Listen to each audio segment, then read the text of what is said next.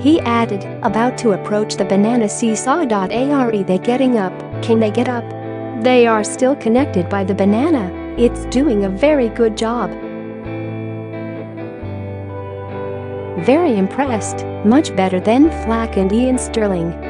Hilariously, Holly and Fearne waved their middle fingers as they raced by a man dressed as a giant banana who threw bananas at them. Making it successfully through the quarter, the pair made it to the finishing line with the almighty banana still whole. The pair's side-splitting performance comes after Holly truly unleashed her naughty side on Celebrity Juice in 2017 as she took part in an X-rated party game with best friend, Fearne Cotton.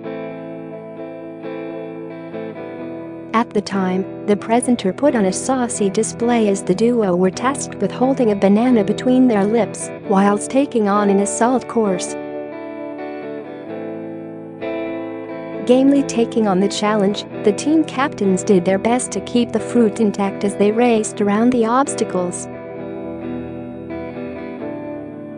Struggling not to laugh, the blonde bombshells gave the game their best effort as host Keith Lemon watched on intently.